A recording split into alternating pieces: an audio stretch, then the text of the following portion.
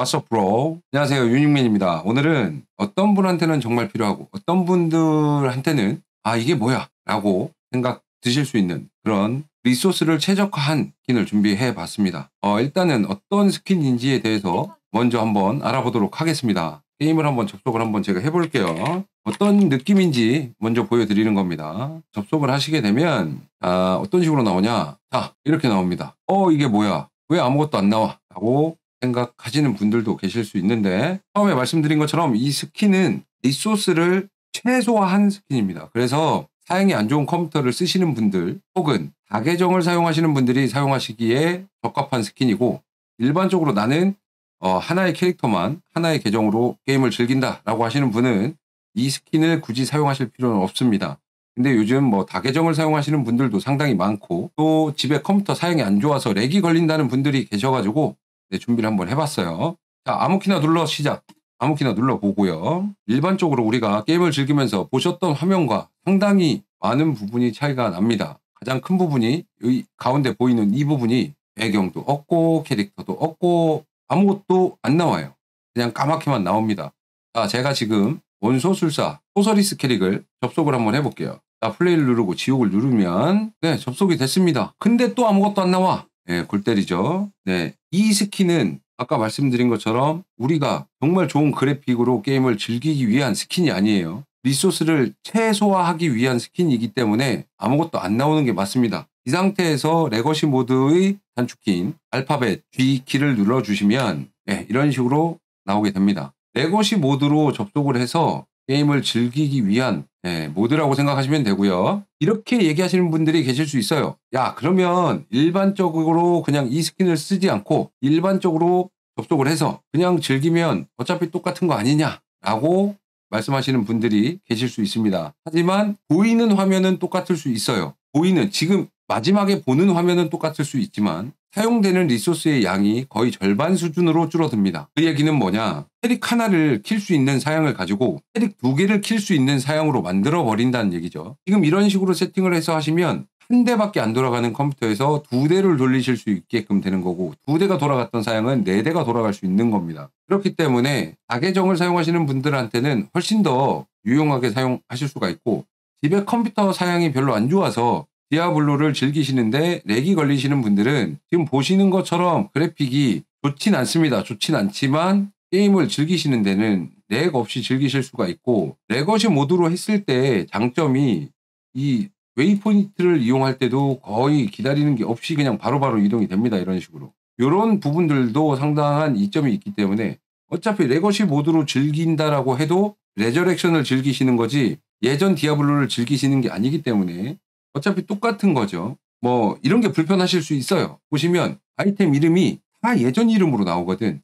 이런 게 불편하실 수 있어요. 근데 예, 보시면 뭐 조던링도 조던링이라고 나오죠. 예전 이름으로 나오는 게 불편하실 수 있어요. 그러면 이 상태에서 다시 G를 누르세요. 그러면 이렇게는 나옵니다. 다시 아이템은 다 확인하실 수 있게끔 되어 있고 뭐 창고를 보실 때도 마찬가지예요.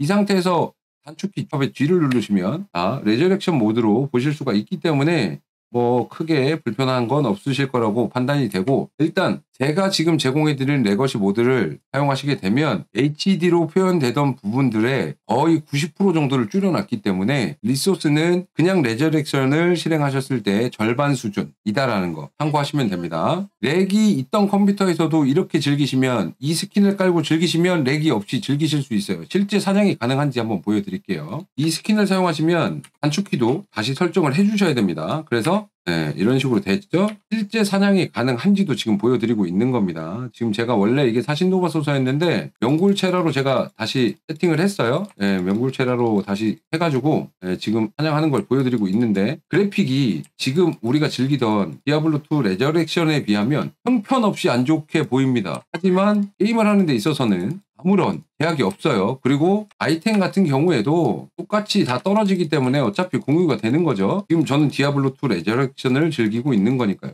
다만 보이는 것만 다를 뿐입니다. 보이는 것만 다를 뿐이에요. 내용은 똑같기 때문에 이런 식으로 그냥 즐기시면 됩니다. 네, 지금 잘 돌아가는 거 확인하고 계시죠?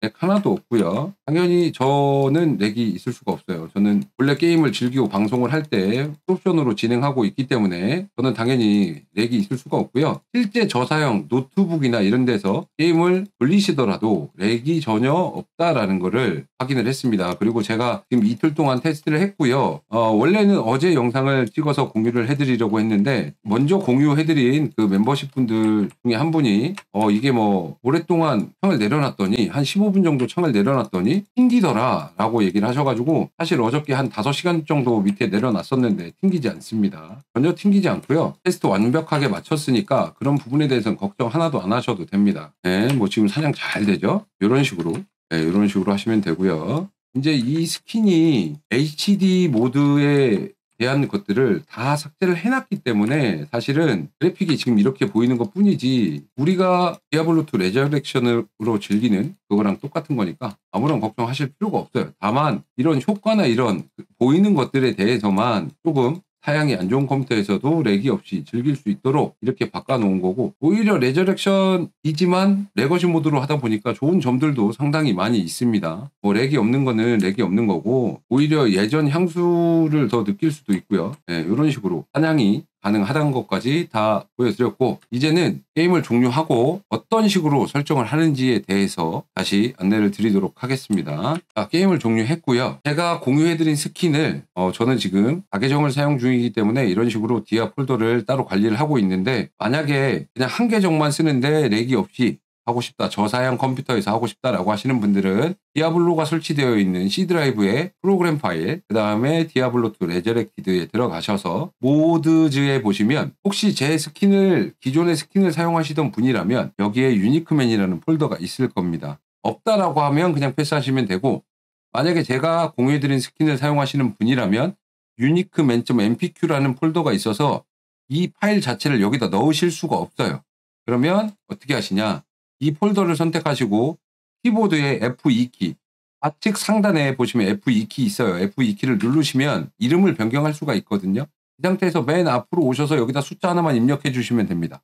뭐 저는 1이라고 입력을 해놨는데 1이든 2든 3이든 뭐 본인이 좋아하시는 뭐 알파벳이든 숫자든 하나만 입력을 해주세요. 그 다음에 여기다가 제가 공유해드린 파일을 붙여 넣으시면 됩니다. 다시 한번 설명을 드릴게요. 기존에 제가 공유해드린 스킨을 사용하시는 분들이라면 앞서 설명드린 대로 스킨을 그냥 거기다 넣으시기만 하면 되고요. 자, 디아블로가 설치되어 있는 폴더로 들어오시면 이런 식으로 mods라는 폴더가 있고 그 안에 들어오시면 다른 스킨을 사용하신 분들이라면 여기에 다른 스킨들의 폴더가 이렇게 있을 겁니다. 만약에 유니크맨이라는 폴더가 없으신 분들은 어떻게 하시냐면 그럼 이 파일을 여기다 일단 붙여넣기를 하세요. 그 다음에 이 파일을 선택한 상태에서 F2키를 누르시고 컨트롤 C 버튼을 누르시면 복사가 되거든요. 이름이 복사가 됩니다. 그 상태에서 ESC를 눌러주시고요. 제가 실제로 한번 만들어서 보여드려야 되니까 새 폴더를 만드시고 컨트롤 V를 누르시면 아까 제가 저 이름을 복사해놨기 때문에 똑같은 이름으로 생성이 되겠죠. 그 다음에 엔터를 누르시면 이렇게 생성이 됐습니다. 그러면 이거를 복사를 하셔서 이 폴더 안에 이렇게 붙여놓기 해주시면 돼요. 예, 이렇게 복, 숫자를 해서 넣으시면 되는 겁니다. 간단하죠? 힘들지 않습니다. 이렇게 붙여 넣기만 하면 됩니다. 이 위에 1이라고 써 있는 거는 제 스킨을 기존에 사용하셨던 분들한테 앞서서 설명드렸죠. 만약에 이게 없으신 분들은 굳이 만드실 필요 없습니다. 이것만 넣어 놓으시면 돼요. 설정은 끝났습니다. 자, 이 상태에서 디아블로 2를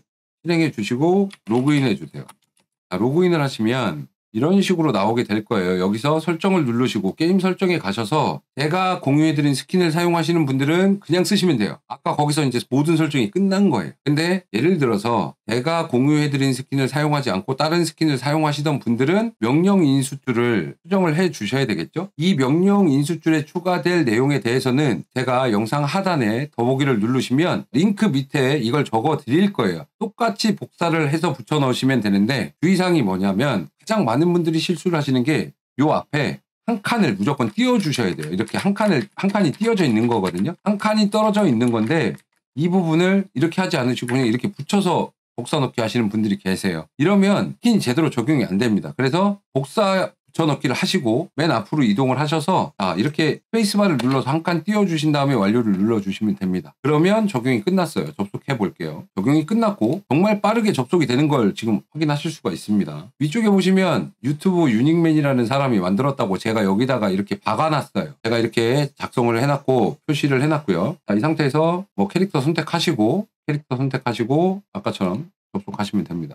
게임에 들어갈 때 나오는 그 문 열리는 화면 있죠. 그것도 지금 다 삭제가 되어 있고요. 게임에 지금 접속이 되어 있습니다. 이 상태에서 B를 눌러주시면 캐릭터가 나오고요. 만약에 다른 방을 간다 그러면 그때마다 G키 한 번씩만 눌러주시면 됩니다. 일단 이 스킨을 사용하는 목적이 처음에도 말씀드렸지만 컴퓨터 사양이 안 좋아서 어, 내가 갖고 있는 컴퓨터나 노트북에서 디아블로2가 돌아가지 않는다 라고 하시는 분들 그 다음에 다계정을 사용하는데 어차피 다계정을 사용하는데 나머지 캐릭터들은 쫄이기 때문에 그걸로 사냥을 하지 않으니까 본캐가 lag이 걸릴 만큼 이 부캐들이 리소스를 잡아먹을 필요가 없어요. 그렇기 때문에 다계정을 사용하시는 분들한테 본 계정은 풀옵션으로 게임을 즐기시고 부캐들은 보조 캐릭터들은 이런 식으로 리소스를 최대한 줄여서 하시면 됩니다. 이렇게 해서 창모드로 놓고 이렇게 쓰시는 거죠. 이렇게.